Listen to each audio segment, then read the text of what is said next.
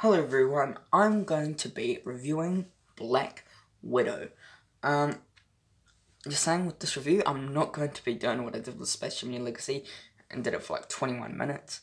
Uh, it's going to be over 10, 8 minutes, like 5 to 10 minutes around there. But yeah, let's get started with this review.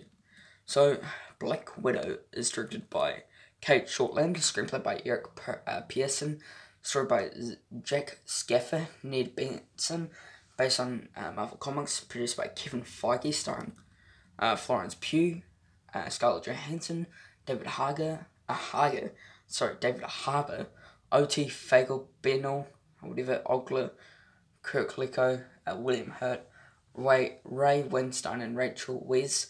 A cinematography from Gabrielle Bernstein, uh, edited by Leigh Folsom Boyd and Matthew Schmidt.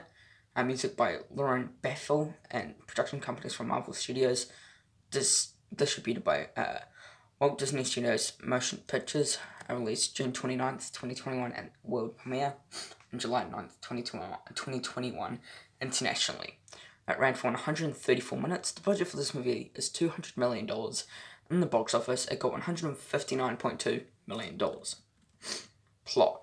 Um, yep, there are spoilers. Uh, if you have not seen it, this is a spoiler review as well. Um, because, yeah. Anyway, let's, let's tell me the plot. A 1995 Russian undercover agent, uh, super soldier, Alexei Sozvoko, I don't know how to say that name, and Black Widow, uh, Melina Volkov, pose a normal family uh, pose as a normal family in Ohio with their surrogate daughters Natasha Romanoff and Lena uh, Yelena Belova. Uh, when the mission to steal S.H.I.E.L.D.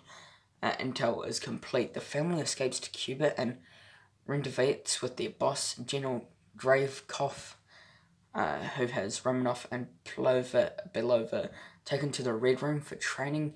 Years pass and Savalkov is imp imprisoned in Russia with while Maximoff defects to S.H.I.E.L.D. after bombing Jerry Vox's Budapest office, apparently killing him and his young daughter, Antonia, uh, Antonia and acts that haunt Romanoff.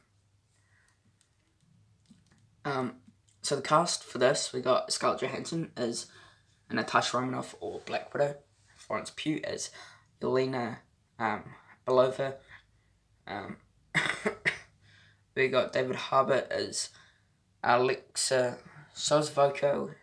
I'm terrible with Russian. Is it Russian? I can't remember. Russian. Yeah, it is Russian. Um, uh, and he is oh, Red Guardian. O.T. Fagel. Uh, Fagel Benel is Mason. Ogla Kinklo is Taskmaster. Yeah, I think I just spoiled that. Yeah. Anyway, um, William Hurt is Thunderous Ro uh, Ross. Uh, Ray Winstone is Dravok. Uh, and Rachel Weisz is uh, Melina Volkov. Production. In February 2004, Lionsgate acquired the, the film's rights for Black Widow, and in April announced David Hart Hayter as a writer and director of the film with Marvel Studios. Avi Arad producing. By June 2006, Lionsgate has dropped the project and the rights reverted to Marvel Studios. Hayter and Marvel tried getting another financer to develop the project, but uh, but Hayter never felt comfortable that we had to find another place that was willing to take the movie and the character seriously. This left Hayter heartbroken, but he hoped the film would be uh, made someday. Yay. Um, let's just say what I think about Black Widow. Um, this is not the weakest Marvel film, uh, but it is not the best Marvel film. It is, uh, it is a disappointment movie, a disappointing movie. I think it, I thought it was actually going to be like really, really, really good. It's just a, I mean, it's a good movie, but it is not like a, it's not an outstanding Marvel film. that's what I was expecting from this film, which I did not receive, but I'm fine with it. I still really enjoyed Black Widow. Um, the villain of Taskmaster, terrible villain. Terrible. I, yeah, uh, Taskmaster's just not good at all. Um,